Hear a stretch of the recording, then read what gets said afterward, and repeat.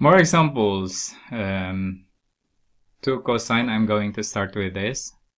So we have 2 cosine squared x is equal to cosine x. So we have 2 cosine squared x. If we subtract both sides of the equation by cosine, then we have cosine x is equal to 0.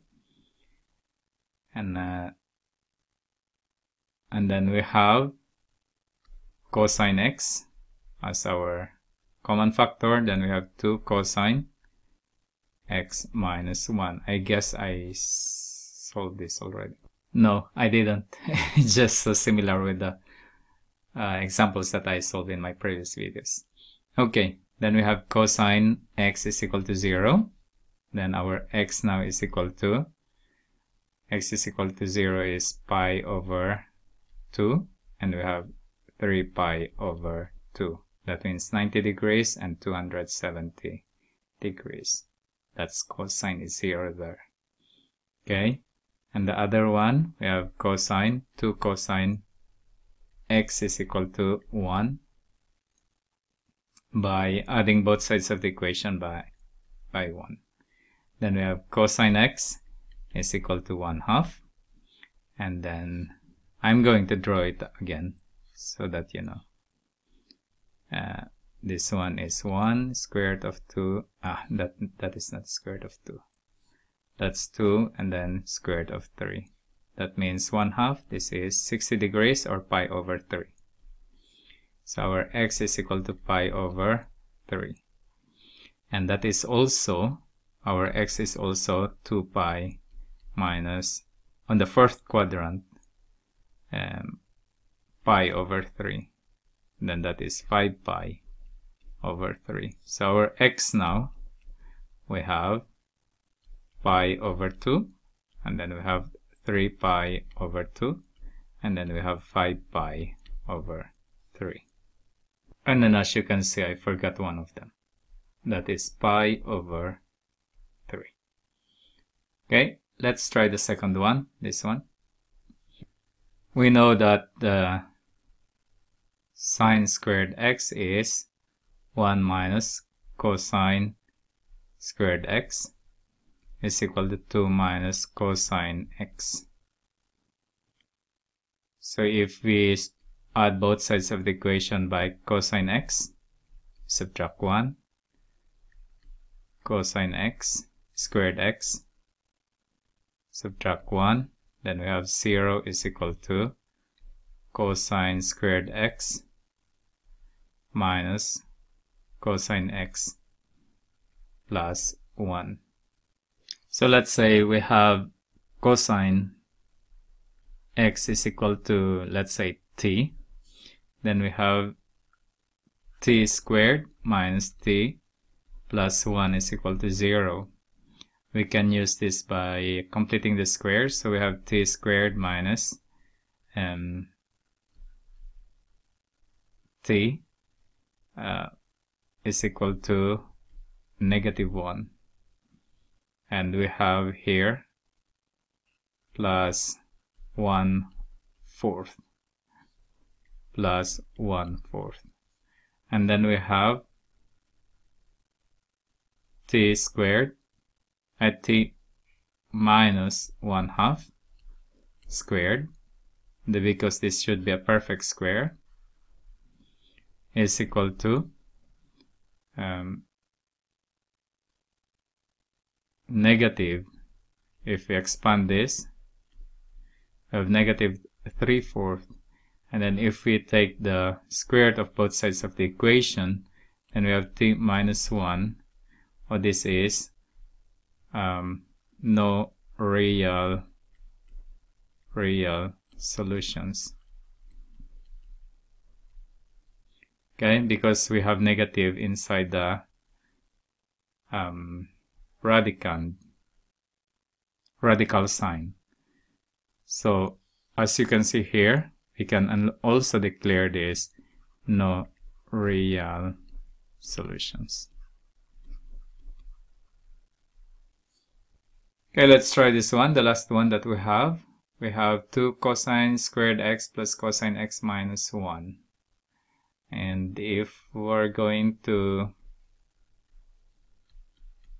factor that, we have 2 cosine squared, uh, not squared, cosine x. Then we have cosine x there. We have negative 1 that but we have positive 1 here so that means 2 times positive 1 will become 2 so that's it so we have cosine x 2 cosine x minus 1 is equal to 0 so we have 2 cosine x is equal to 1 um, and then cosine x is equal to 1 half. And if we know already this is 60 degrees or pi over 3 then we have 1 there 2 there. So we have x is equal to pi over 3 and then 1 half also positive 1 half also in the fourth quadrant so we have pi, pi 2 pi minus pi over 3 and we have 6 we have 5 pi over 3 the next one we have cosine x is equal to negative 1. That means our x now is equal to negative 1 is in the second quadrant. So we have pi. So now our, now our x is pi over 3. And then we have pi. And then we have 5 pi over 3. Okay, let's take this one also. I think it's alright. It's just 6 minutes. So we have cosine 2x is cosine squared x minus sine squared x minus cosine x is equal to 0. So we have um, 1 no I need cosine so we have cosine squared x minus 1 minus cosine squared x minus cosine x is equal to 0.